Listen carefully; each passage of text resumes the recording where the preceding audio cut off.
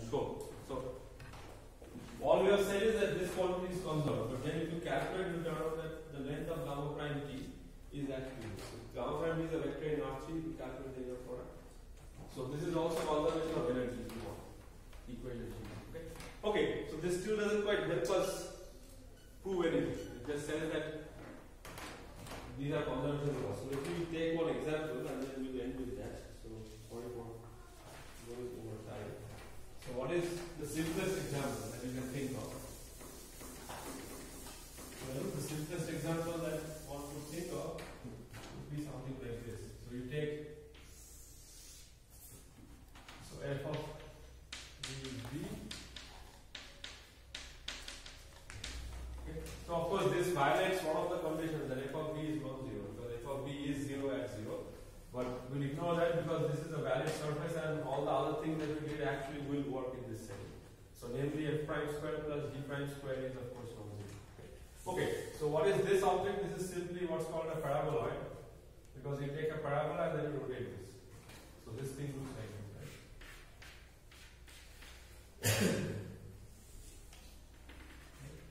so if you take slice like this, it's a parabola. If you rotate it, it's a circle, but the circles are going at a certain rate uh, given by GB. Okay? So here, it turns out that if you.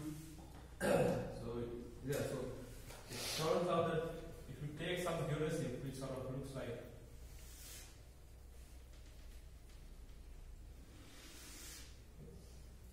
so the amazing thing is that if you take a geodesic which is not which is not a parallel, not a meridian, then it's going to self-intersect itself infinitely times. So the reason why that is so is you already see it happening here. You start with it goes here. This one will go at the back and come back, go here. The point is that geodesic has to go around this paraboloid infinitely many times.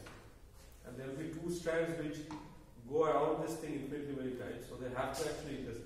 That's one of the main points. So like this, the claim seven here is and I'll, I'll outline uh, what actually goes on. So any geodesic which is not which is not a parallel. So a parallel is just a circle and it's not a so I'm also not looking at these kind of geodesics,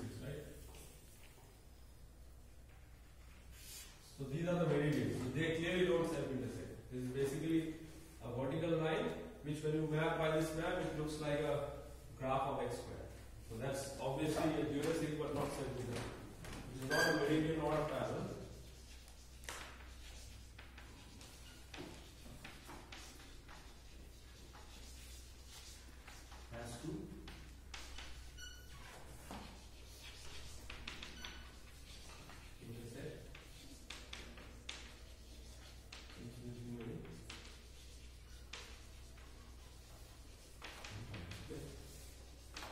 So instead of trying to work with these two equations, which is very hard to work with in this context, it's much easier if you work with the analogous thing. For example, work with this thing. That this is a constant. So if you assume that it's geometric, then this has to be a constant. But then if you can somehow say that this quantity, if you know the limit of r of t as t goes to plus infinity as minus infinity, and you know that this is a constant, then you know what how, how cosine of beta t should behave.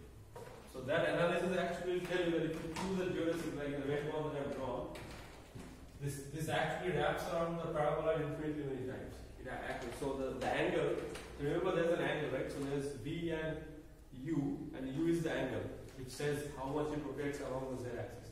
So U of t as t goes to plus infinity and minus infinity actually goes to plus infinity and minus infinity, which means the angle actually actually wraps around the, the parabola infinity many times in both directions. That's the first thing that you can conclude using this. And then you have to say that this r actually goes to infinity. So it cannot be wrapping around and converting to something like so it cannot do something like this. And it cannot get stagnated at a certain height. It actually has to go up in height. That's what the r is telling you because r is remember the distance of the point from the z axis. So you have to basically use this analysis. I, I think in the homework some hints are given, but we'll discuss maybe this in details tomorrow. So you have to say what the limit of this is, that it cannot have finite limit. And the limit of this as t goes to plus minus infinity is plus minus infinity. So sort of self intersects because it wraps around infinitely really often and it actually goes up in height.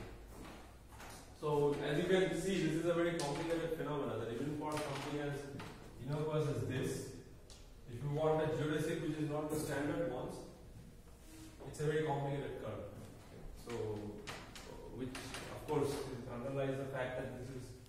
so easy to solve, even though there are conservation laws and so on. So geodesics on general surfaces of revolution are going to be even harder, apart from spheres and things like that. So, uh, so yeah, so spheres we already know. So next time uh, we'll talk about why geodesics exists. I think the examples are more or less done for now. So yeah, okay.